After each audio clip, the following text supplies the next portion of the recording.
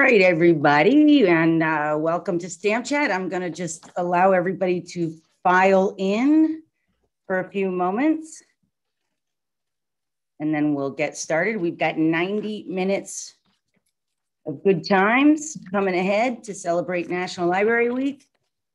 And I cannot wait to get started with everybody. And I see we have a very healthy audience, so that's totally awesome. Those numbers. And it's 301, so that's about it. All right. Well, hi, everyone, and welcome to Stamp Chat. I'm Heidi Rhodes. Today's Stamp Chat recognizes and celebrates National Library Week. We're discussing librarians, libraries, and the hobby.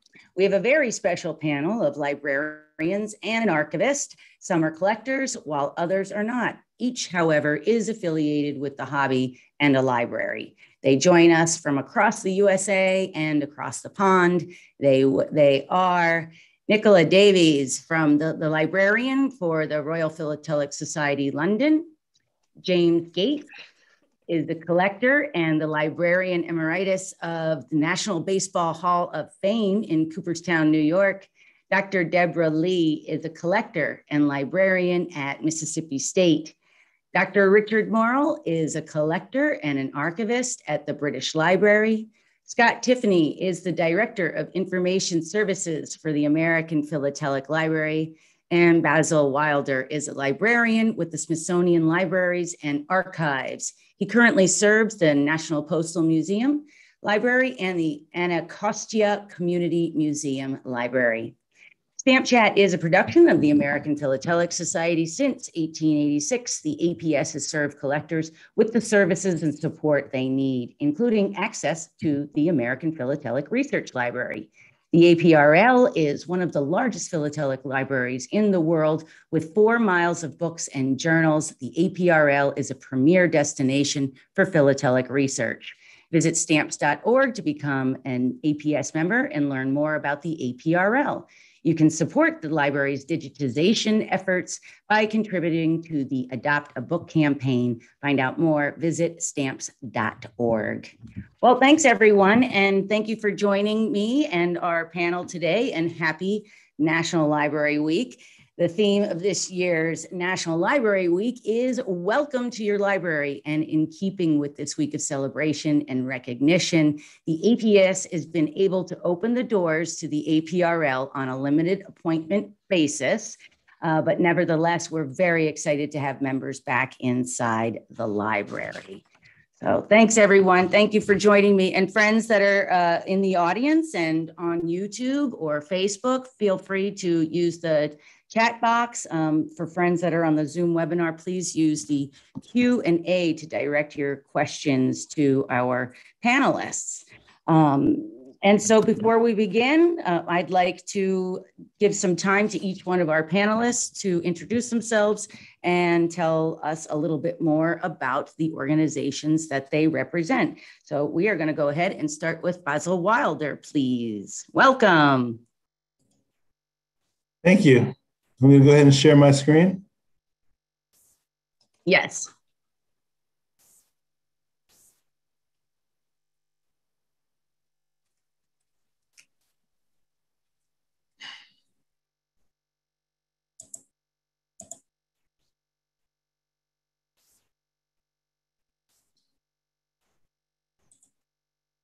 Hi, my name is Basil Wilder.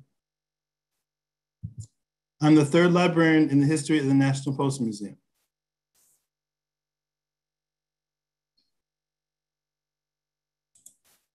The Smithsonian's National Postal Museum Library is situated behind the scenes inside of the museum staff area. We have materials on postal history and philately. We are the only Smithsonian museum located inside of a post office and we are strategically located across the street from Union Station in Washington, D.C., the busiest passenger rail line in the nation. Our Adopt a Book program allows you to leave a legacy while providing funding which supports the library. When you adopt a book, you will be acknowledged with a physical book plate in your selected item as seen in this photo. We are walking distance from the Library of Congress, the US Postal Service headquarters building, and the National Archives. Another amazing aspect of this library's location is the public museum gallery is only a few feet away, and the high security collections vault with all the valuable stamps is right down the hall. It couldn't get any better than that. The library was established along with the museum in 1993, and it is one of 21 specialized libraries in the Smithsonian Library System. A library system with 2 million volumes, which are now part of the Smithsonian Libraries and Archives. At the Postal Museum Library, we have over 40,000 volumes devoted to the study of postal history and philately. This library collection was created with generous book and journal donations of philatelists from around the world, including Frederick Melville, George Turner, and curators of the National Philatelic Collection. Our 30 persistent Postmaster General files include correspondence between the Postmaster General and citizens ranging from 1901 to 1974. We also have a government documents section in our library, which includes the annual reports of the Postmaster General, the postal bulletins, United States official postal guides, and the postal laws and regulations. We loan and borrow books from libraries worldwide. We also contribute to the Global Philatelic Library and the Philatelic Union Catalog. I enjoy sharing information with the talented librarians who are on this panel and library colleagues internationally. Whenever librarians collaborate, we offer philatelists and postal historians a wealth of information to enhance the research experience. The Postal Museum Library is open to researchers by appointment, and we are also the only Smithsonian library with Saturday hours once a month. After the pandemic, I'm hoping to offer the Saturday open house again. Currently, the Smithsonian Libraries and Archives are closed to staff and researchers because of the pandemic. However, we are still providing online services from home. Thank you. That was an excellent picture. It was fun to see everybody break out into a smile. Thank you, Basil. Thank you. And next, we have our own Scott Tiffany from the APRL. Hi, Scott. Hi, Heidi. Thank you uh, to start sharing my screen.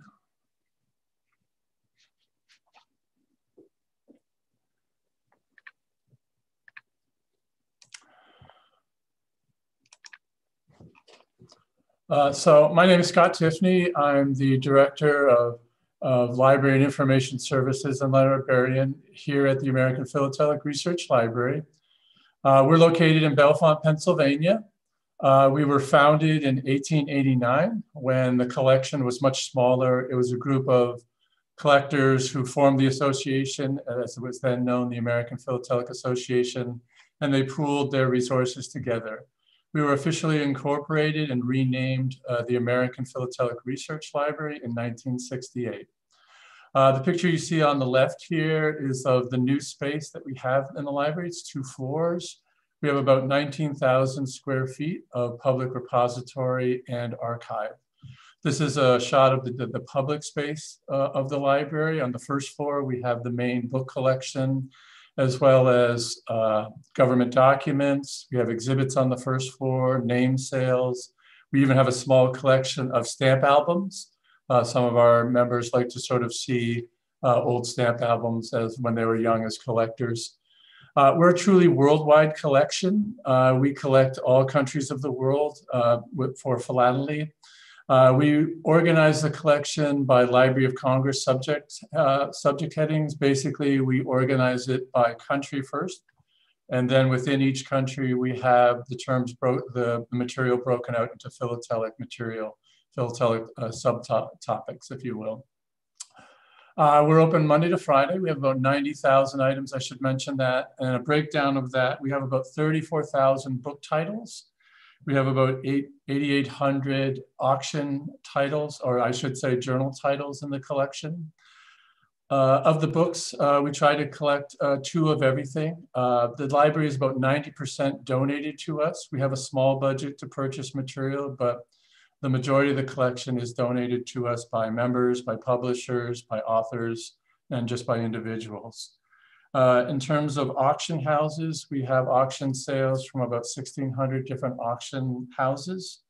Uh, and we have a small collection of about a thousand philatelic exhibits that are in digital form. Um, in terms of the journals, as I said, we have about 8,800 8, titles. I would say about 400 of those are still currently published that we receive in the library. Uh, we also have, this is the public space that you see here. We have a private space for our archival collections. We have about 500 different archival collections. Some of these are research collections. Some of these are just individual research items or items that we can't have in the public space. We also have a variety of miscellaneous uh, material that's in the archive area as well, things like stamp posters, maps, uh, and other material like that that isn't sort of readily available in the public space. Uh, we have four full-time employees in the library. We have myself, we have a reference assistant, we have a library assistant, and we have a technical uh, technical processing person who does all our cataloging. Uh, we kind of do a little bit of everything. It's sort of uh, everybody sort of contributes to other parts of the library. We all do reference requests as we receive them. We all do a little bit of cataloging. We all do a lot of different th things in the library. Uh, we get on average about 200 reference requests to the library per month. Uh, we sort of parse those out as they come in. Some of the, the services that we provide, provide, we obviously have services for members and non-members. Worldwide, we, we can send out material uh, in terms of scans and photocopies worldwide. Only members of the APS can borrow materials from the library and only those with North American addresses can, can, we send those materials out to. We used to send out material for borrowing internationally, but we just found that just wasn't didn't work for us. The postage was really kind of excessive, and uh, we just worried about things getting back to us in the mail. So now it's just North American addresses. We also provide uh, research services. So you can call us or email us. The numbers, uh, the information is there below and uh, we can sort of answer your research requests. Uh, two of the, the things that I want to show you, one or two of which we're very proud of just recently have come into being. Uh, we have the David Straight, Basile mentioned uh, the new online catalog. This is the new platform for that. Uh, this we just rolled out in January of 2021. It's on a Genie Plus uh, platform. And uh, it allows us a lot of different sort of flexibility and sort of options that we didn't have in the previous online catalog. It has about 30, 386,000 bibliographic records. It includes not only the records for the APRL, but also eight other philatelic libraries, uh, some who are on this, this particular call right now. We also have an article index. We have volunteers throughout the country that sort of uh, index articles for us in all the major journals. Uh, we're always looking for more volunteers to do that, but currently they, we have about 222,000 citations to those uh, records uh, articles throughout uh, various journals. We also, with the new online catalog, we have some additional features that allow us to link to online resources. So if a particular document is available somewhere on the internet in full, full, form, full text digital form, uh, we have a link for that in the records as well as we have a sort of individual database, if you will, of just those resources. Uh, we also have new resources as they come into the library. If you look at the on the left at the top, there's a tab there for new resources. If you click on that, you can see the new resources that have been recently cataloged, not only at the APRL, but the other philatelic libraries as well in the catalog. Finally, we have a used inventory, uh, used books for sale tab at the top of the screen. And this is material that we get into the library. Sorry, I have a train going by my office. Um, uh, this is where you can click on that link. And these are materials that if we don't have a use for them in our collection, or if we don't uh, have, uh, we offer them to other philatelic libraries if nobody else uh, has need of them, that we sort of put them up for sale. And really that helps with our library services. Bottom of the screen is the link for this new online catalog. But if you go to the APS website, and click into the library webpage, you'll find a link there for it too, as well as uh, tutorials for searching the catalog. The other thing I want to talk about a little bit is about our digital collections database. This is a project that we started about two years ago now. Uh, we're starting to really grow this. Uh, this is a digital library where we have about 620,000 full text searchable pages in the in the database. Uh, it allows you all the same features that you would in sort of any digital collection. You can display, print, uh, download sort of items from the database. Uh, we have nine complete journal runs as well as a few other items in the database. But what's really exciting, uh, I've been working on uh, trying to receive permissions from other uh, public, from other societies, clubs, organizations, philatelic organizations to have their journals in the database. And we've received, I just received my 44th one the other day. So we have 44 journals that we've received permissions for. Uh, we have about 200 exhibits now and about eight books that we've received permissions for. And so we're really excited about this. This is something that's going to be growing over the next uh, couple of years. Uh, and we're really sort of, um, we just recently renamed it uh, the Robert A. Mason Digital Library in honor of uh, someone who's going to be supporting this uh, in a very sort of um, incredible way in terms of um, allowing us to do the kind of digitization that we're looking forward to. So that's really all I, um, I want to say. And I'll, with that, I'll pass it back to Heidi. Thank you, Scott. And again, it's been so fun to see visitors coming back into the building. Um, just a little footnote, you it, it is a very limited basis, so um, you'll need to make a reservation. Next librarian, or in this case, archivist, is Dr. Richard Morrow from the British Library. Welcome. Hello there, everyone. Um, I'll just put my screen up.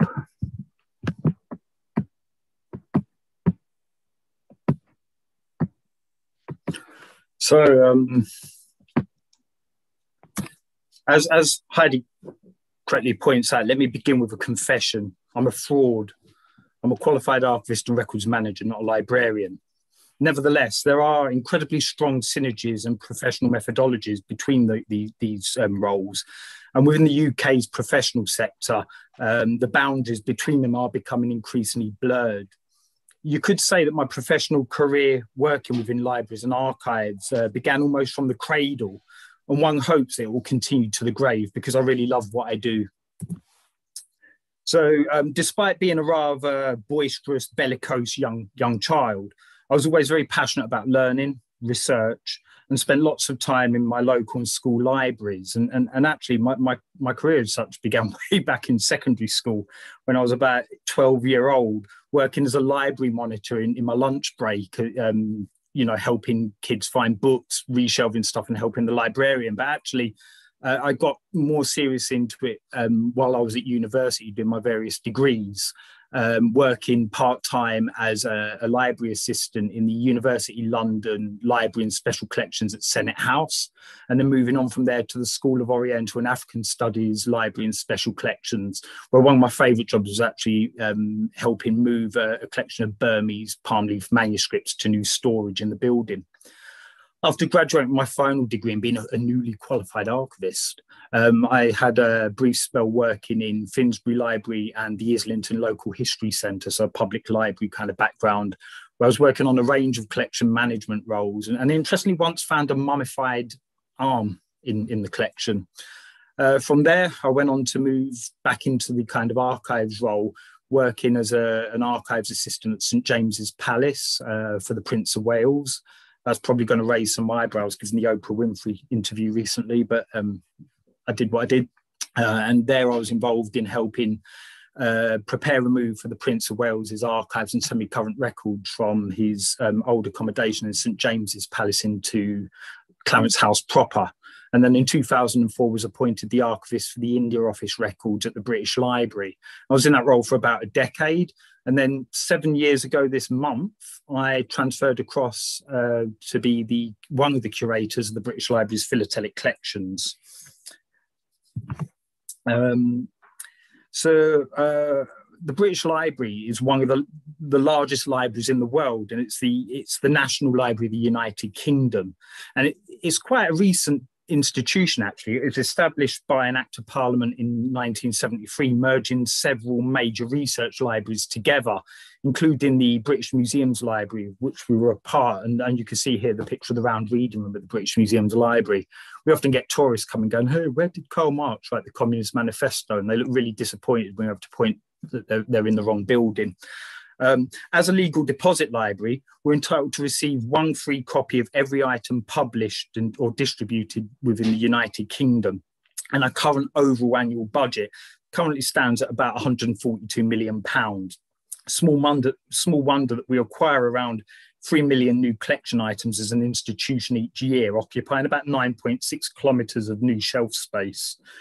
Um, the British Library's philatelic collections were actually established uh, within the Department of Printed Books at the British Museum Library in 1891, following the bequest of Thomas Keay Tapling's near complete collection of worldwide postage stamps telegraph stamps and postal stationery that was issued between 1840 and, and 1890. And for the benefit of the of, of our of our American friends, I put up a, a, few of the rarities that one would expect. Well, quite a lot, a small fraction of what you would expect to find in a, in our kind of US holdings, um, containing you know many of the world's first and successive classical stamp issues, in addition to associated essays, proof material, shades, errors, and varieties.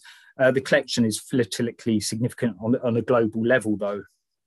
Over the years, our holdings have continually expanded via successive donations, bequests, and transfers of official archives. We've never purchased a collection. And that says a lot about the largesse of the philatelic community, I think. Uh, the, to date, the, the, British Library's philatelic collections currently comprise over 70 collections of international significance. They total around eight and a half million collection items. Um, notable uh, material within this archive includes kind of the Board of Inland Revenue Stamping Department archive, of which we've got the registration sheet for the America 1765 revenue stamps.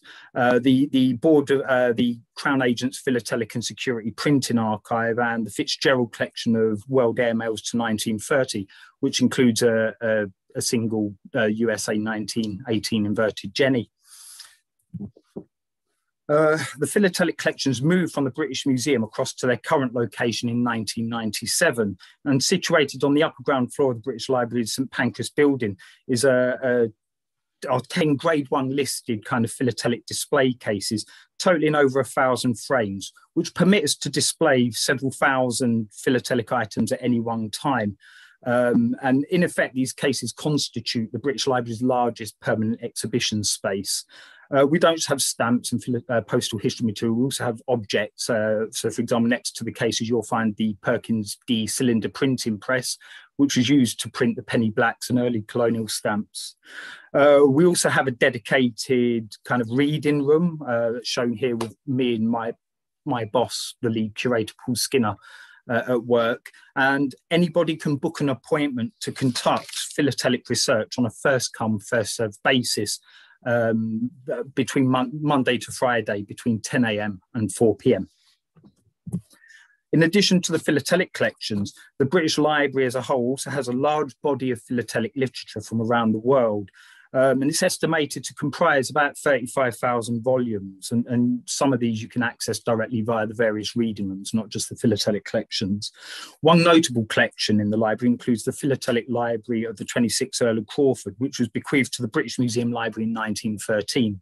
And it's probably the most complete collection of philatelic literature covering the period from 1861 to 1913. It covers around four and a half thousand volumes. Only two staff manage the entire front and back of house operations of the British Library's philatelic collections.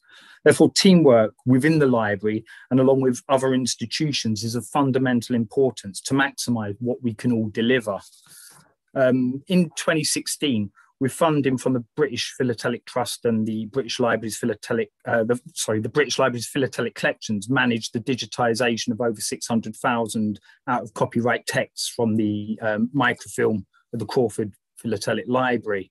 And working alongside Nicola and colleagues at the Royal Philatelic Society London, as well as the Global Philatelic Library, these images are now freely available online for research around the world.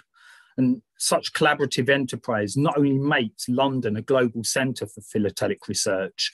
You know, we have the library, the Royal Philatelic Society, and the Postal Museum within walking distance of each other. Um, this kind of work also benefits the kind of global philatelic community as a whole. Anybody interested in learning more about our holdings and resources or wishes to contact us can find some of the relevant information here. So my predecessor David Beech has done a really useful guide on the collections uh, held in the uh, philatelic collections, uh, as well as a, a good, uh, a very important article on the digitization project to the Philatelic Library. Um, with regards to the British Library's overall digital holdings of philatelic significance, I'd, I'd point you out to my recent um, article in the latest edition of the Philatelic Literature Review. Uh, and anyone interested in the Crown Agents Archive could look at last year's um, edition of the London Philatelist. Um, you could look online uh, for books on the book and manuscript catalogue via the, the British Library catalogue link. And of course, you could always email me or the department directly for any inquiries. We're there to facilitate research rather than conduct it on your behalf, though. And finally, if you're interested in some of the day to day kind of interesting things we find or activities, you could always follow us on Twitter. I'd like to thank you very much. Thank you, Richard. That was beautiful. And I'm really enjoying how we can go around the globe on, from library to library. How fun. Our next presenter or uh, our next intro, you know, on our passport through uh, philatelic libraries is Dr. Deborah Lee, which is not a philatelic library. However, Deborah, Dr. Lee is a collector and she was featured on our uh, stamp stories. So welcome, Dr. Lee. Thank you. I did warn folks that, that I'm going to be a little different than everybody else because we're not a philatelic library. I'm the associate dean and professor at Mississippi State University Library, and we are a, a Research One uh, agricultural and land grant institution. And like a lot of academic libraries, we reflect the community that we, we serve but there are a lot of philatelic materials kind of hidden into the, this, this, broader collection. And I think we're like a lot of academic libraries and a lot of large public libraries and even historical societies where you may find that you have this real resource in your backyard that didn't necessarily advertise as a philatelic collection, but has a lot of material that you could access. So I wanted to share with you my journey through our collections. I, have worked at Mississippi State 28 years this month. Uh, so I've been there a long time. I've been a collector even longer than that. But uh, to be honest, I had never taken my collector's hat into the library before. And so I really looked at our collections and how we access materials a little differently. And I thought I'd take you along with that. Two things I am not an expert in anything I'm about to show you. So I'm just going to say that up front. I found some really cool things, but uh, it's going to take a great deal more research for me to understand uh, the background behind them. And on the last slide, I do have the URLs for every resource that I'm going to talk about. So either in this session or in the recording, you've got access to that material and you can uh, always follow up if you're interested. I started with the TH um, I can't read that there because it's in John Smith. There we go. The T.H. Smith Postal History Collection. And I started by looking online at some of our digitized collections. And again, because we are a research library, we are not a philatelic library, I had to be a little creative in how I looked for information. And I found this wonderful digitized collection of postcards that I could start to look at. And as I looked at these postcards, I could tell that they were depicting different scenes from Mississippi. This is from Brookhaven, Mississippi. Um, the T.H. Smith Postal History Collection actually is a historical collection for postal history, but the person who curated it was not a collector. And so when I look at the metadata that describes this particular card, and again, metadata is just that, that information about an artifact.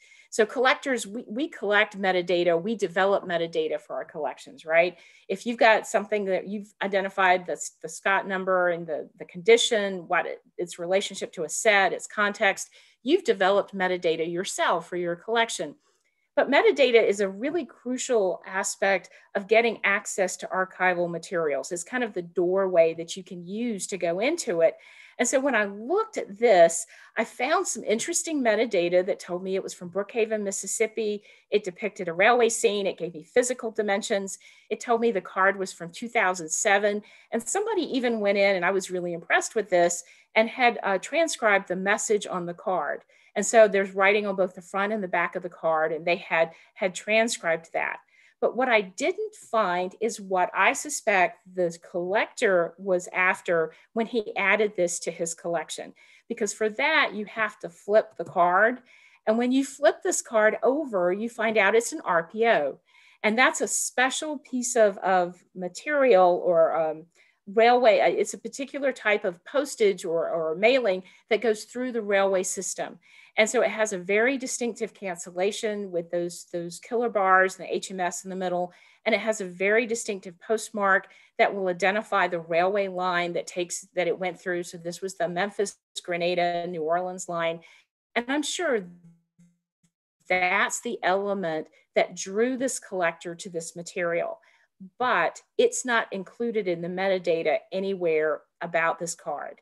And so if I, as a collector, came to this collection and said, I want to find all the RPOs in this collection, I couldn't look, I couldn't just do a search and find it. I would really have to dig and look at the card, which there's nothing wrong with that.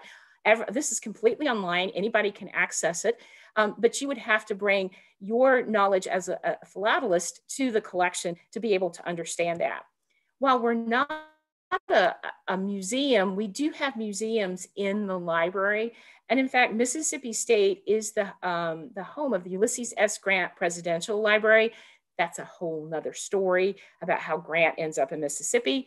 But um, we are one of six institutions across the US that has a presidential library in, in the library system.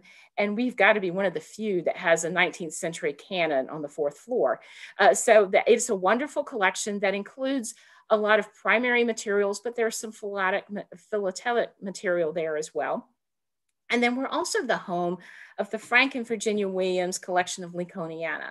It's a companion gallery um, Judge Williams is a retired uh, Chief Justice from uh, Rhode Island, and he also is a lifelong collector of Lincoln materials.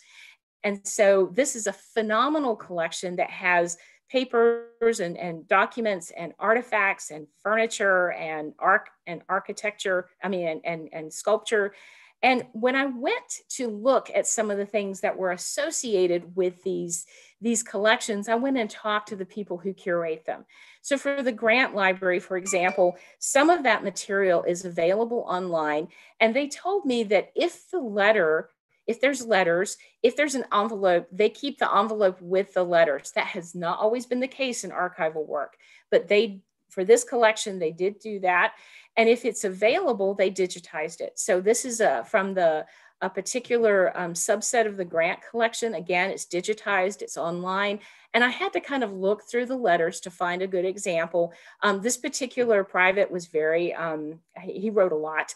And so he had um, a, a, letter that that is very typical of Civil War um, mailings that I've seen. And so you can actually pull this up and view this online. You certainly could view, Uh, visit the library and, and look at those materials as well. In the Lincoln collection, I actually contacted them and set up an appointment and told them what I was interested in looking at. And so when I came into the Lincoln collection in my appointed time, they had that stuff already pulled for me. It was waiting for me at the table. And it, it reflects the very much the character of the person who donated this collection because the focus was on Lincoln. It wasn't on philately. And so there are boxes and boxes of material. It's a very eclectic mix of really classic older material and very contemporary material. And so I found wonderful um, sheets of stamps. I found all kinds of, of specialized material. There was a, a, a good representation of international material that depicts Lincoln. And then there were all these postcards that reflects the challenge that you have when you're accessing this kind of a collection because the person who, who donated this material, who collected it, his focus was on Lincoln. And so when you look at the subject headings for the cards, it's related to the, the card and Lincoln and whatever Lincoln is doing on the card. So you have contemporary materials and really vintage materials mixed together. You have used and, and um, unused materials mixed together. So it's really up to me as the collector to come in and identify how this is going to collect and, and, and match to this. I really got interested in the T.H. Smith Postal History Collection. So I did a little bit more with that. I set up an appointment with the, um, the coordinator of our special collections, Jennifer McGillan. And she, uh, so when I came up for my session, she already had material pulled for me. I could just start, I could I make good use of my time. And she's the one that told me, oh, in addition to the 341 um, postcards that are digitized online, there are thousands and thousands of pieces to this collection. So the postcards that are digitized are in box one. There are 16 more boxes of material related to this one collection, and it's all about postal history, a lot of it focused on Mississippi. And I have fallen in love with this collection. This is my summer research project, I will tell you. And just looking through it, I found a really rich mixture of types of materials, of types of postmarks. Um, obviously, this is somebody who invested a great deal of time and resources into building this collection. And it's been inventoried, but there's really not been anything else done with it. And when I looked through it and I found some kind of cool things that I thought I might want to follow up on, I found a lot of those postcards that were um, really commercial cards that had been put out by a particular um, uh, I think they were inserts in a magazine actually. And they are being mailed back to a poultry concern in Louisiana back in the 1800s. And they are from Mississippi farmers throughout the state. And they represent really small postal areas in the state. Um, and so this was Hermanville. I had to look up Hermanville. I live in Mississippi, but I, it's it's a crossroads now, um, and so it's an unincorporated area. And there are a lot of these really small areas represented, and it gives you a very nice picture of what um, of of what that the postal system looked like at that time. The one on the left also caught my eye, and this is just from a very fast perusal of the box. And this is from the last day of mailing from that post office. It's being posted from A&M College. That's actually the precursor of Mississippi State. That's what we used to be called a long time ago. Um, and so it's signed by the Postmaster General. Obviously, the postal system went away. We have it back now. We do have a post office on campus. Um, and so that particular um, piece has me intrigued to find out more history about it. But again, if I came to the, the collection and said, I want to look at things that are postmarked from Mississippi State, or I want to look at things that are RPOs in this collection, the, the archivist probably would not be able to help me a great deal. They know a lot about the collection, but they are not philatelist and they don't know that aspect of the collection. I have found, however, that a lot of times archivists know information about collections that do not appear in the metadata. So you really want to connect with that person there are some ways that I made this a success for me. I, I think I, I approached this, and I think these are approaches that would work with any academic library, any public library that maybe is not a philatelic collection, but that you're interested in finding out more information that might be available through their collections.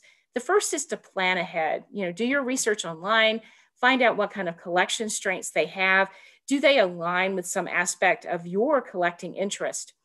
Contact the library before you show up because in every case I was able to just walk in and have the things waiting for me on the table and make the best use of my time. And again, we've been open since August to the public, so our collections are open, but these are very small reading rooms, very small spaces. So they aren't allowing but so many people to inhabit them at one time. So you really do have to make an appointment ahead of time. Archives and libraries have rules, and especially in these specialized spaces, they don't want you to bring a pen. Um, they're going to, they are, are, uh, many of them will not allow you to bring in a bag. So you're going to have to post the, or put that stuff in a locker. Um, so you want to know what those rules are ahead of time and then be prepared to explore because it's not like ordering takeout through McDonald's. You're going to have to really spend some time getting to know the, those boxes and figuring out how did they how did somebody divide that collection up? What was the the rationale behind it? Does it fit with what you're looking for? Are you going to have to think outside the box literally in terms of finding materials. And so all of these resources, um, many of them have things that are available online. We have digitized a tremendous amount of material, as have a lot of university and academic libraries. And so you can find a phenomenal amount of material online. But what I found in doing this process is that whatever I find online is just the tip of the iceberg, and that there's a lot of information from I can get access to if I visit the, the, the the service itself, if I visit the collection and ask for additional information, I can find a lot more. But it is, um, we would welcome anybody if you can find Starkville. We would absolutely welcome you to come here and um, would be glad to uh, introduce you to our collections. Thank you. Thank you, Dr. Lee. I just wanted to let you know that, uh, and we'll be talking about this uh, momentarily, friends, but we, we had a commenter that says, uh, excellent point about the metadata. As an archaeologist, I've seen that with curated artifact descriptions. So thanks a lot. And coming down the stretch, we've got Mr. Jim Gates with the uh, the National Baseball Hall of Fame. Welcome. Thank you, Heidi. Um, it's great to be here with everybody today. And let me, hopefully, I will get this right.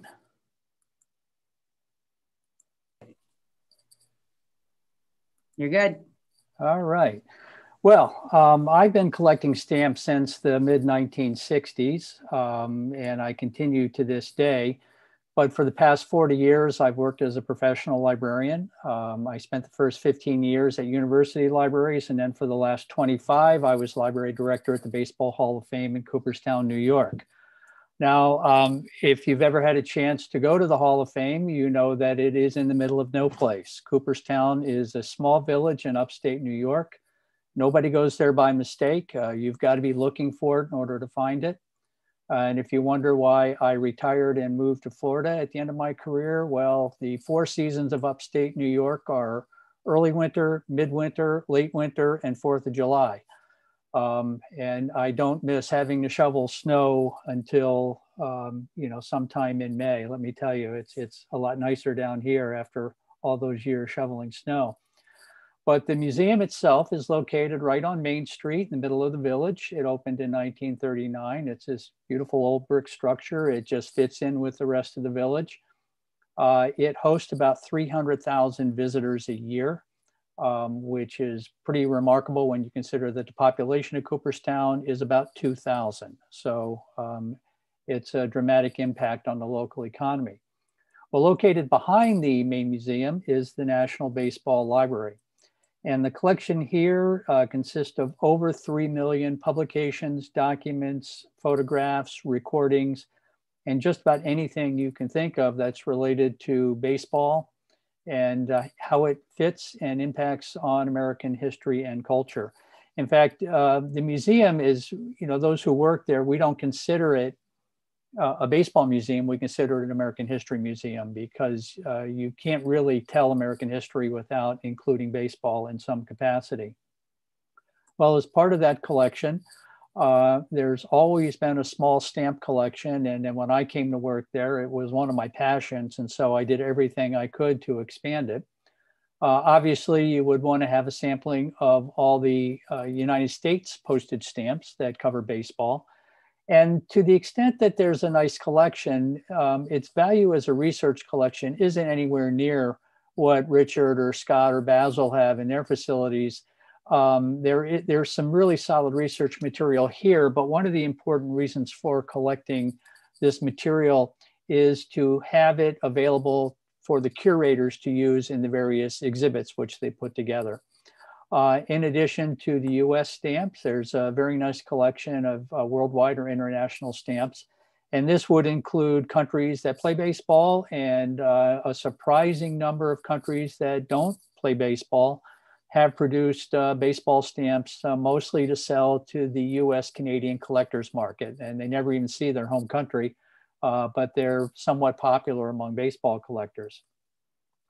Now, the core of the collection began on June 12, 1939. That's the day the museum opened. Directly across the street from the museum is the Cooperstown Post Office. And on that day, here you see on the left is Postmaster General James Farley. And on the right is the Commissioner of Baseball, Kennesaw Mountain Landis. And uh, he is purchasing from the um, Postmaster General the first sheet of the Scott 855 Centennial of Baseball stamps. And you can see across the top of that sheet, there is some handwriting, and that's basically uh, Postmaster Farley writing down what that was. Well, uh, just Landis walked across the street, donated it to the museum where it still exists to this day. It is the first philatelic item in the collection and one of the very first things in the library collection. I used it uh, several times for various exhibits, uh, but this is housed in a climate controlled uh, storage area most of the time.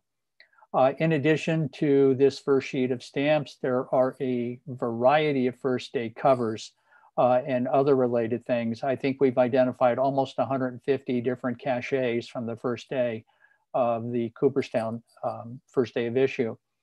Uh, in addition to this, there are first day covers from as many different baseball stamps as I could get my hands on. Um, like Scott, there's a, an extremely limited budget to buy material. And at the Hall of Fame Library, it's mostly new books for reference purposes. Uh, everything else is donated, and I would spend at least a third of my time um, cultivating donors in order to acquire things. Or with respect to philatelic issues, I would acquire them myself and then turn around and donate them to the collection. The museum creates some of its own um, cachets.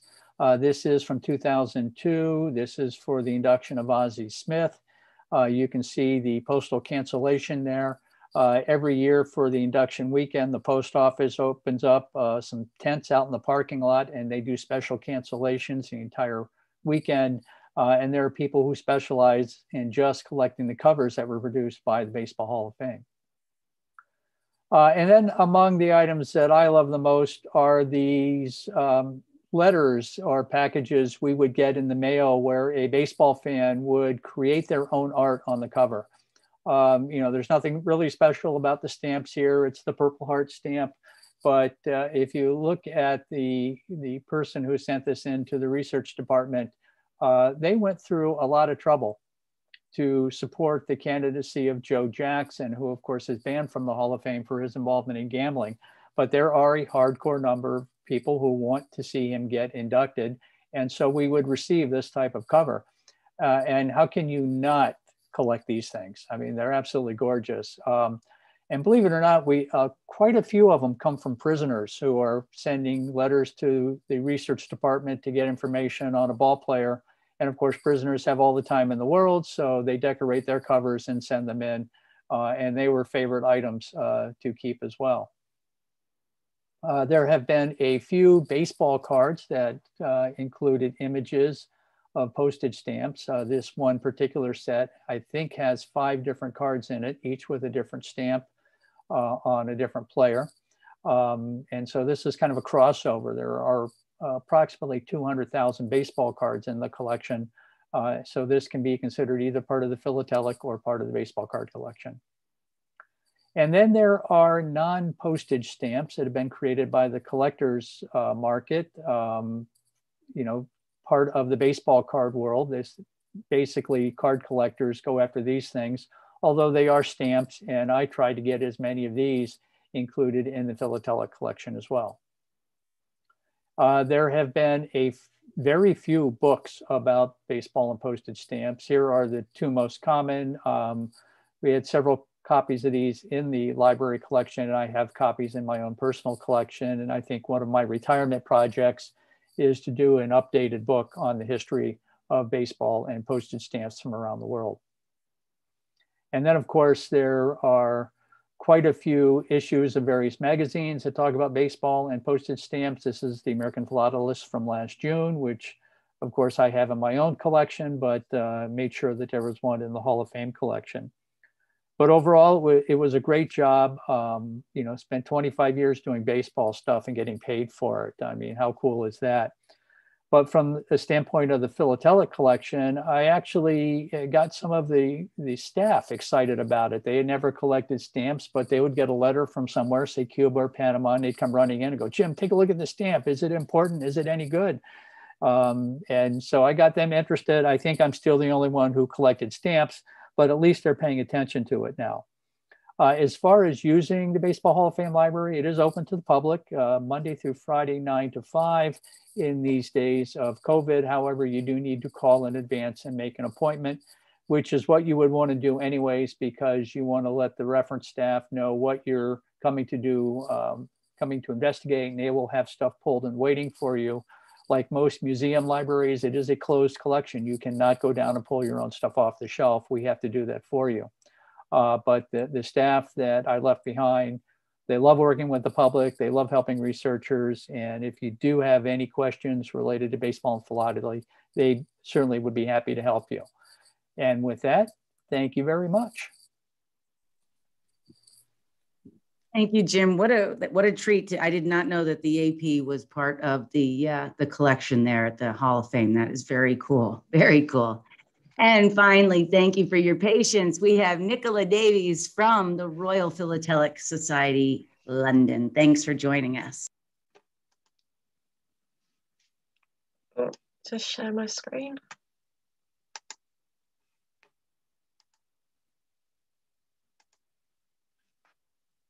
Everyone see that?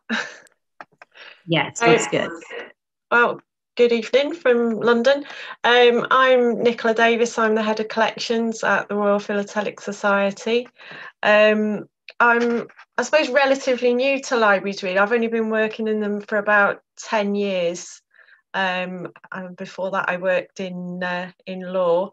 Um, I am a collector of. I've got a thematic collection, a, a dog collection because um, when I first started at the Royal, our um, one of our volunteers, Morris, said, "Oh, so do you collect stamps?" And I said, "Well, I've got a few dog ones." And he said, "Oh, great!" And then he went and told everybody that I collected dog stamps. So now I've got quite a, quite a good collection of them.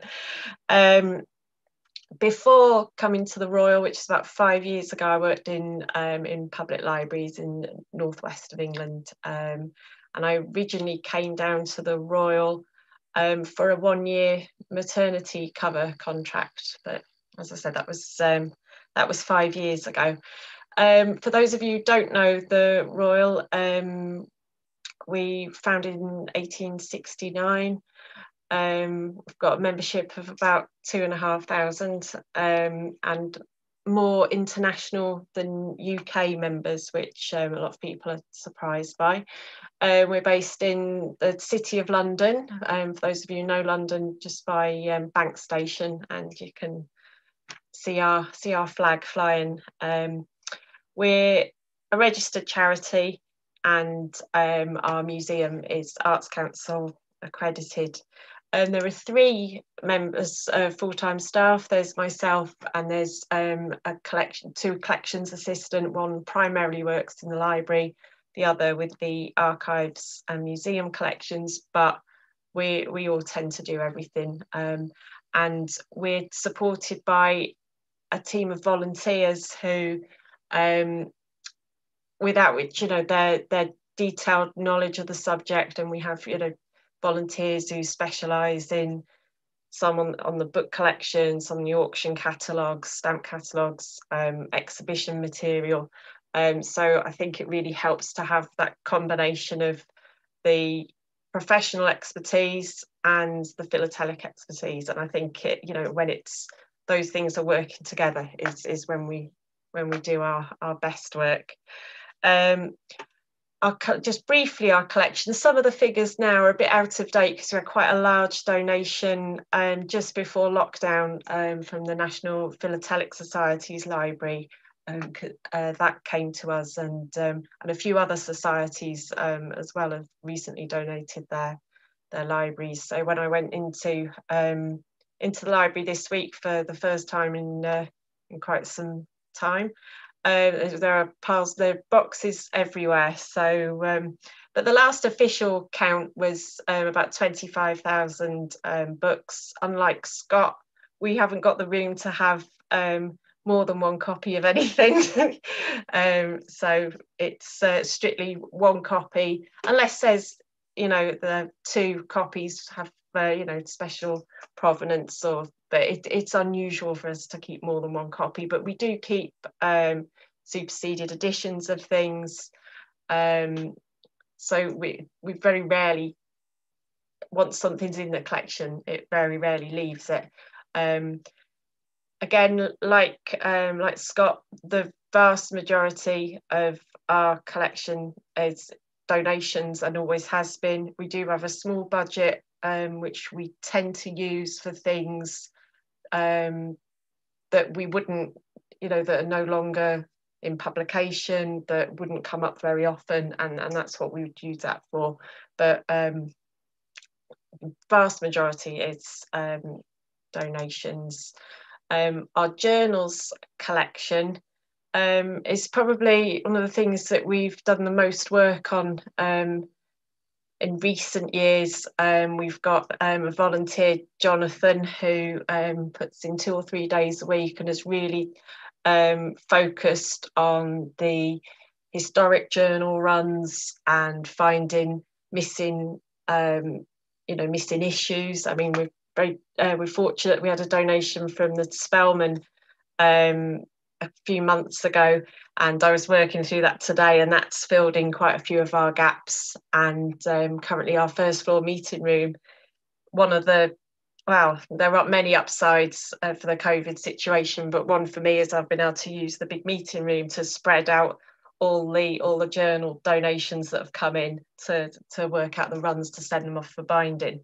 Um, I mean, one of our biggest expenses, I'd say, um, from the collections point of view, is uh, you know the money we spend binding all our journals. Um, you know, so so they do, you know, stand the test of time auction catalogues. Um, we've volunteered John Ray. He's um, he's been working from home um, during uh, during COVID uh, he hasn't been able to come in. But he's been going through researching and, and putting all the data in, which has been a great help for us because when we've got the new catalogues in, we can just turn the zero to a one and um, and all the all the data's already in. So so our volunteers have found ways to help us um, remotely, which has um, you know meant that the work hasn't come to a standstill. And we've got about 24 um, 24,000 auction catalogues. Um, like the books and journals, this isn't just GB um, or Commonwealth. You know, we do collect worldwide and not just in English language. Um, this was the our old home in 41 Devonshire Place. Um, so we moved there, well, 1925, um, and we out, outgrew it quite some time ago. And um, that was a photograph not long before we left. And as you can see, um, not ideal that the tea and coffee facilities are in the same room as the uh, the library. Um, and the, as much as uh, we were fond of the building and we had been there a long time, it wasn't fit for purpose, and the um, the local authority um, weren't uh, very helpful when it came to you know permission to um, do things to the building because it was listed. Uh, so we we really had no option but to move. Um, I mean, it's like I say, we did, you know, we were very fond of the building, but it wasn't suitable, not just for the collections, access was a problem. Um, so, you know, it wasn't a great experience for researchers or staff. Um, so in 2000, well, 2019 was our uh, official opening of the Queen. We moved to Abchurch Lane, um, and we were so lucky to find this building because um, you know we were never going to find something that met all our needs but i think it's as close as we could have come the library is um, well the collections are kept over the two basements um, the library space you see there which has no tea and coffee allowed in it anymore um, that's on the um, upper ground uh, the upper basement floor or the lower ground which however you like to look at it um, and the it now has dedicated research space and individual areas as well. Um, we have a store which is in the lower basement, environmentally and controlled, um, so climate, humidity, secure. So you know now for the first time, you know the collections do have a you know a really a really suitable home there's a dedicated research space now as well, secure research room, the book scanner as well. which has meant for the first time the collections can be looked at together. So the library archive collections, we have um, a team of uh, volunteer curators who look after the philatelic collections as well, so that they can all be reviewed together. Um, although I am a professional librarian, my role as uh, head of collections does mean that I uh, also have to turn my hand to looking after the museum and the archive collections, which um, include obviously the Royals history, also philatelic and security printed. So we've been doing a lot of work digitising um, the Perkins Bacon archives. Um, so our focus of the last year or so, because we haven't been able to go and play with our, our new building, has been um, getting as much stuff out there. And um, we're fortunate that the Arts Society, which are a voluntary society over in, in the UK, um, agreed to come and help. So they've been, you know, they've been doing some transcriptions for us and getting the material out to a wider audience. So not just um, you know, not just philatelists, but people have been able to come and see that this material that traditionally is just uh, being looked at by philatelists and from a philatelic point of view um, can have, you know, real value for social history, research, economic history, and um, banknotes, um, banknote specialists. So there's a, a, whole, you know, family history as well. Um, we've found lots of, you know, lots of interesting things in, and it's come around full circle that we've found things in there that have um, enriched our knowledge about our own history and philatelic history. So it's um, it's been really worthwhile, and you know, we are passionate about getting as much stuff as we can to, you know, a wider a wider audience and to our international members and people who can't make it into London. Um, we are open from Monday for remote inquiries. I mean, as far as we've been able to working from home the last uh, year, uh, we've been dealing with um, inquiries where we've had access to the material. We do we do postal loans um, similar to the APRL, um, whereas we, we only offer them if you you're resident within the UK um, and to members, but we will deal with um, scans and remote inquiries worldwide, and you don't have to be a uh, you don't have to be a member. Um, if you do have any inquiries, um, feel free to email me or, or have, have a look at our catalogue um, for a better idea of uh, what's available.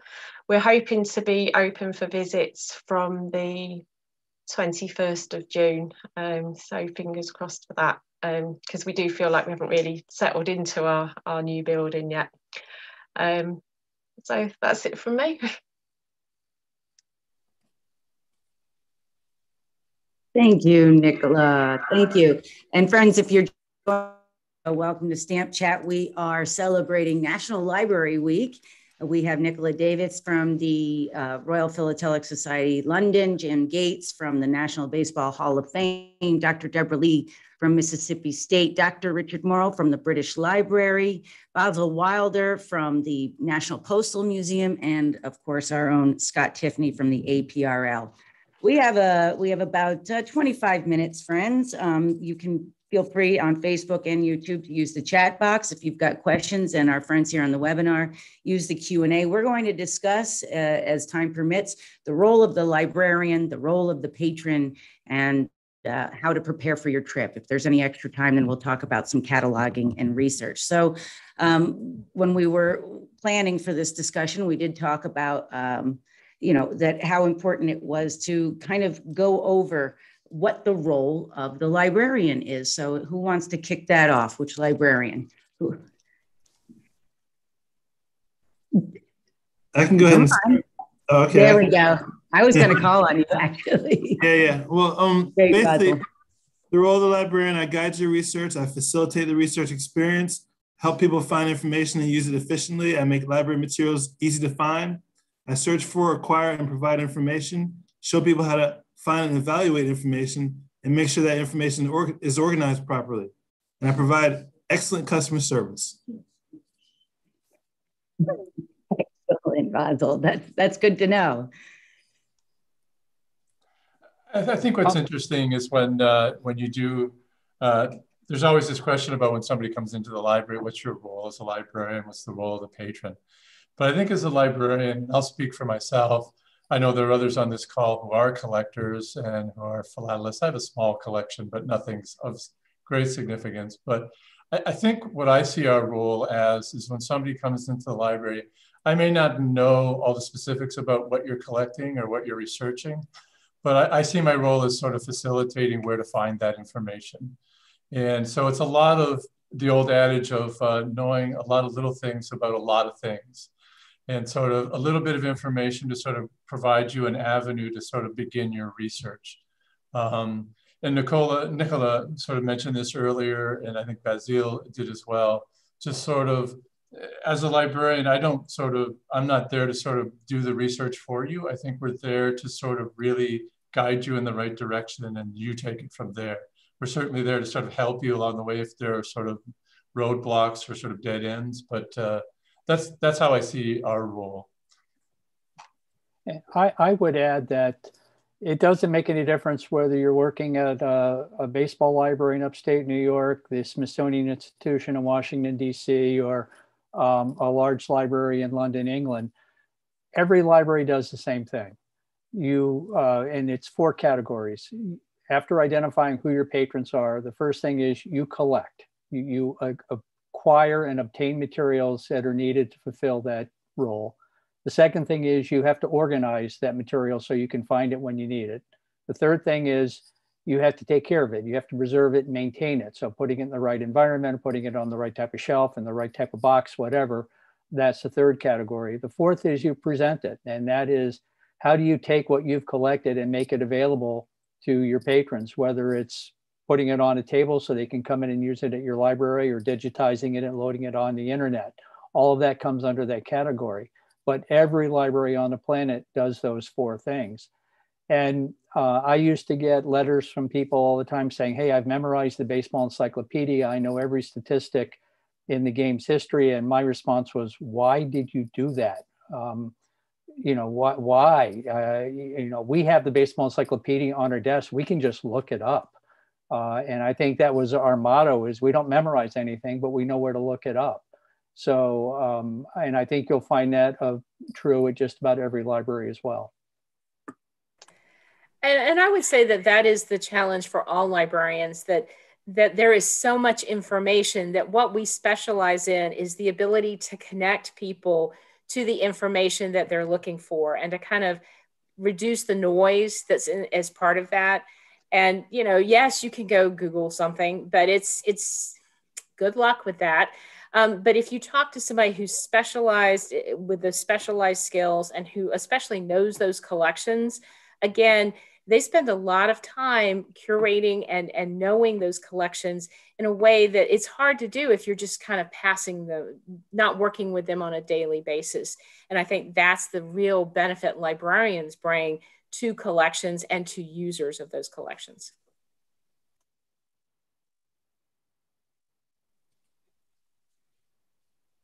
So moving on, and I'd like to, Charlene Blair is on and she says, collect, organize, categorize, present, present. So hi, Charlene, big shout out to you.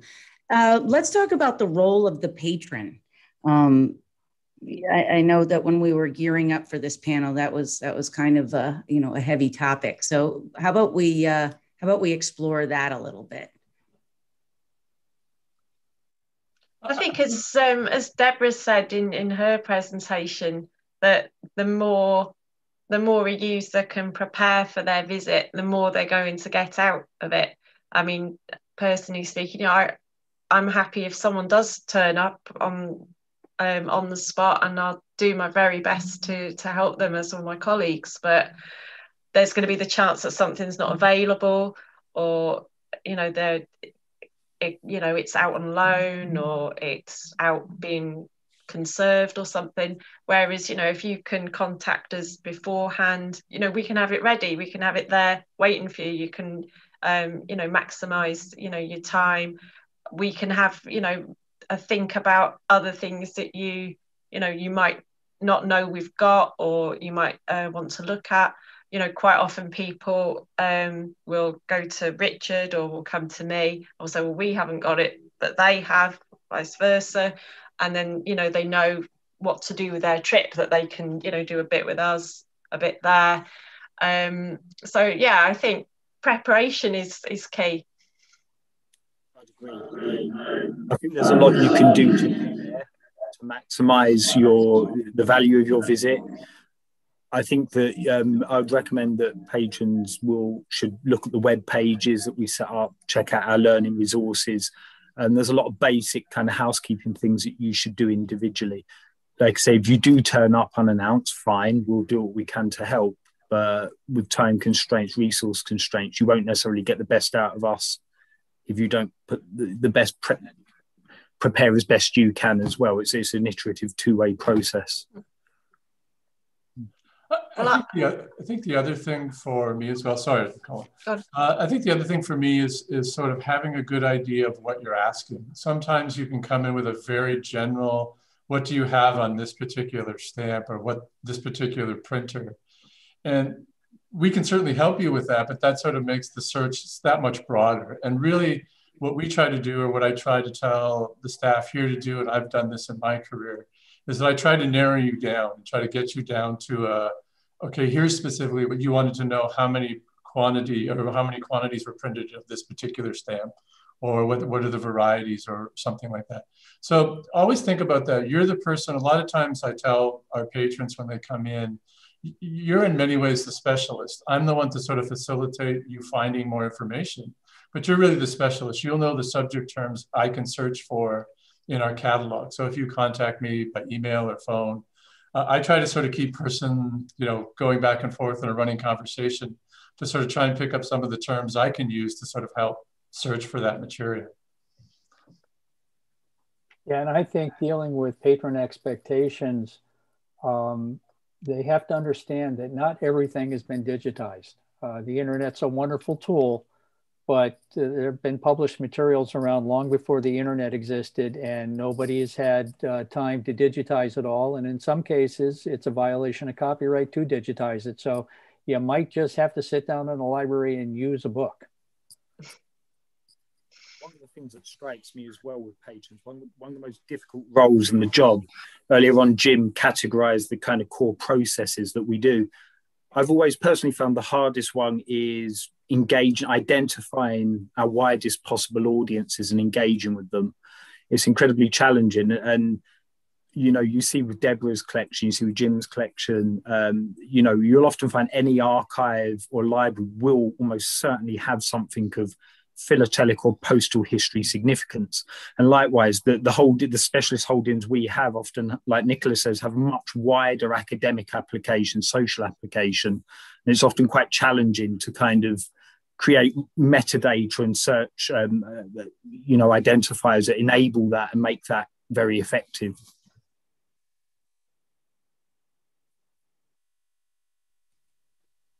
Well, and that, and that is where metadata comes in. That's where it's most useful is, excuse me, sort of helping with uh, finding that material. If, uh, if there's solid metadata, it's very detailed, it's very organized. It allows not only the, the searcher, but the librarian to sort of find that material, the specific material that that person's looking for. Since we're talking about metadata, I mean, do, do, we feel that we covered how to prepare for your visit adequately before we move on? I'd say don't don't be afraid to get in touch. Um, that I have people who will say, "Oh, I'm really sorry, I keep emailing you." Um, we'd rather that. We'd rather you got in touch and we can, you know, go backwards and forwards and get exactly what you're looking for and work that out. Um you know it, it doesn't matter you know how you know how long that takes you know we'd rather we'd rather get it right and you get the most out of out of the resources that we've got. Yeah patrons need to understand that um, you know we're not collecting stuff so it gathers dust in the basement. We want it to be used. Um, i had a, a professor in library school who once told me that the best prep job you could get for becoming a librarian is to work as a bartender one summer. and learn how to, to deal with people and talk to people and listen to people because those are the most important skills you're going to have when dealing with the public.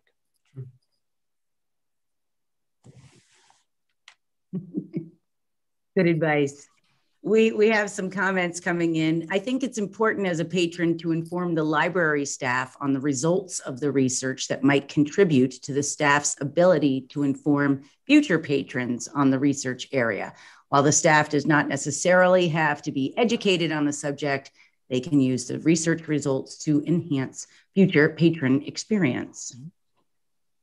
Yeah, nodding from the entire yeah. panel and I would say that that in my experience, just in working with some of my colleagues, they want that feedback. They are interested in knowing how you're using the collection and what you found that they didn't capture that that maybe they need to know about and incorporate in future finding aids or I mean they they really want that feedback. Yeah, we've started we've started collecting a little bit of that information too. If we hear back from someone, doing a little follow up as to did that sort of satisfy your research request? And is there something more we could have done just to sort of see if it, that's something we have within our, our resources or if we can sort of direct you in another direction to another library or repository? I find it very rewarding to see the end result of our work. You know, it's fun to engage with our patrons. It's brilliant to see their end result, but also that feeds back into the core activities again of identifying how our collections are being used, how best to allocate resource to improve accessibility and, and service delivery. So, so it very much is a two-way iterative process that that um, is cyclical almost, um, symbiotic. One of our uh, audience members from YouTube is asking whether uh, the quality of the patron matters to librarian, meaning, you know, whether they're highly specialized or academically. Okay, I'm seeing nods to the negative. Okay, be cool. All patrons are created equal. Um, doesn't matter what your background is, especially from the British Library's perspective, we're paid for by the taxpayers. We're there to serve everyone uh, not just nationally but internationally. Mm-hmm. Um, you know, the, the, scale or level of your research is an irrelevancy to me as long as as you you know we give the best service we can to you. And for me, I'm here to help the patron. We're an academic library, a special library, and a government library all under one roof. If I don't have what you want, I'll do my best to find it for you. You can borrow our books through your local library. And since philately covers a lot of subjects, we can find just about any type of book in our library, from science to art to languages to reference books. Our library is open stacks, meaning there's no barrier to the bookshelves. And finally, the library is a third place. The library is where you truly belong. A third place is a neutral ground, it's a new, level playing field, lots of conversation, easy access, and a place where you feel welcome. It's low profile, stress free, and it's your home away from home. Postal Museum Library. Yeah, I mean, I think um, all, all those who've been to library school would uh, you know that's very much the ethos of you know what is what we all believe in that it is for everybody and and whatever you you want from the library then yeah you're welcome Isn't that lovely? What a great sentiment. And that's why libraries are just fantastic and always have a really warm spot in my heart. Thank you. What's the strangest, funniest patron query you've ever had with? you want to go? You want to go, Nicola? Um, no, it's not philatelic. I mean, I, when I worked with in a public reference library, I used to get a lot of, well, I, someone rang up asking if I knew how to roast a chicken, um, which my friends will tell you absolutely not. And um, one chap rang up and he'd seen a, a, a pipe and he didn't know what it was. And he said, Well, could you drive out and have a look? Um, you know, because I'd looked at all the maps and, you know, we sort of thought we knew what it was. He said, Well, how about going out and taking taking a look? No, no, it's not really, you know, my job to go out and do uh, field work. But yeah, you, you know, you do get, you get a lot of characters, um, but no, nothing too strange, I wouldn't say. Well, I, it's not a philatelic story, But when I was a graduate student at the University of North Carolina, I was working one weekend in the library. And this gentleman walked up and hit the desk and said, Where's the head? And I'm like, well, the head of the library is not here on the weekend, and I'll be glad to take a message for you. And I did my whole spiel, and I was so proud of myself. And he just laughed and he says, "No, darling, I'm looking for the bathroom." And so that was that was my fun library story. I think some of the funny funniest ones. Uh, I still get we still get this occasionally, where someone will call up or email, and they'll say, "Well, the book's blue." Um, and you'll go, okay, so what's it about? Or we still get these the odd time where somebody just has a page, they have a photocopy or a copy of a page, and they want to know where that's from. One of my the it was one of the very first uh, reference requests I took here when I first started here, and I was able to figure out the page and what journal it was in. I, I was able to figure out what journal was in just by the typescript and sort of how the page is formatted and things like that. I don't think I ever found the actual article, but I was pretty excited that I actually found the journal that this that this page was from. Yeah, I mean, I'd, I'd say there's quite a few. You get quite a few like that. I mean, I um, I had one once where someone said, um, "Well, I was listening to a radio show on Monday, and the person who was on that, it was their brother apparently wrote a book." And I said, "Well, who was the person?" I said, "I can't remember." And you're like, what's the radio show? Um, I'm not sure. I mean, eventually, amongst the staff who were there, we we did nail who it was, um, but it took quite a few questions. But yeah, the the asking for a blue book isn't uh, isn't unusual. Um, I remember in Asian African Studies, uh, my former department, I was in the region once dealing with general inquiries, and um, someone was uh, working on Coptic manuscripts that we have and, and proceeded to expand at length or tried to um, enter a debate and ask, ask me what language I thought the ancient Egyptian gods spoke. Um, and obviously wasn't able to answer that. Um, but it was quite a challenge working out ways that they might be able to conduct that kind of research. Um, took quite a few few goes on on the database and scratching our head with colleagues and working it through. But that, that's one that I do remember. With regards to readers, um, I don't think we're at the watershed yet for some of the stuff I've seen in the public library, but yeah, it's very colourful at times. I'd, I'd say one um, that does have a serious point behind it. Um, when, when I did work in the, the reference library, um, someone came in and said, I oh yeah i'm looking for my family tree. And you know i said oh you know you want help doing it? And they said no um have you got it ready? And and they said well that's not how it how it is on the tv you go in and they have it ready for you. And yeah the expectation that because on shows like um you know who do you think you are where the person goes in they've just met and then they say oh yeah well this is what we found for you. And this um this customer did genuinely believe that I was going to go into the back and say, yes, here it is. Um, so yeah, I think um, expectations about the, you know, the amount of work that does go into um, finding um, finding the resources sometimes. Yeah, related to genealogy, um, we have a lot of game used equipment in the museum collection and we had um, a person come in once asking to see all the game used equipment from a, a, famous ball player because they wanted to try to get scrapings of DNA off of it so that they could prove that they were the illegitimate son of this ball player. And it was like, no, we, we, we don't do that. Um, you're you're going to have to find another way to, to make that proof. But you, you never know what the next question is going to be. I had a phone call from a lawyer once who was working on a forgery case. So I helped him research the case and do the um, research. Not five minutes later, another lawyer called who's the opposition lawyer working on the same case. so I helped him too. I don't know who won the lawsuit, but I helped both of them. I remember delivering Islington, excellent local, customer service, Basil. Excellent. I, remember in um, Islington Local History Centre once, I had a, a researcher come in they were buying a property in Islington in Barnsbury. and um, they wanted to know why the, the value of the property was so low. So I said to them, well, you know, let's have a look at the local history collection, see what we could find. And I remember it transpired there was a, a, a double murder in the house, hence it was um, hence it was at low value. And I, I think our research actually um, put the put the potential buyer off of purchasing the property in the end.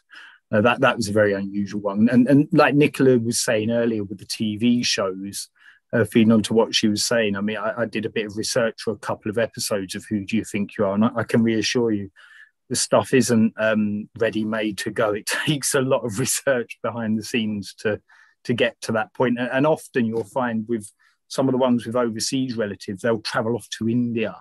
And of course, they don't need to do that because everything's in London. So they'll often just dramatize it with these kind of overseas trips that don't really reflect the realities of genealogical research at all.